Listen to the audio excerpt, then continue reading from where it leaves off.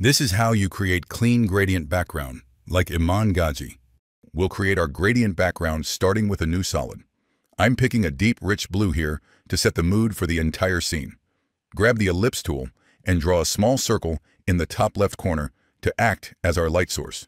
For the color, let's go with a blue that's just a shade lighter than our background so it stands out. Switch to the pen tool and draw some abstract shapes like beams of light coming from the circle. They don't need to be perfect.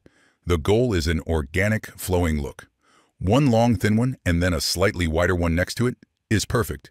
Select all these shapes and pre-compose them. On this new background, pre-comp, add a blur to soften everything up. I'm using BCC blur, but a standard Gaussian blur works just as well. Now adjust the shapes based on the look you want.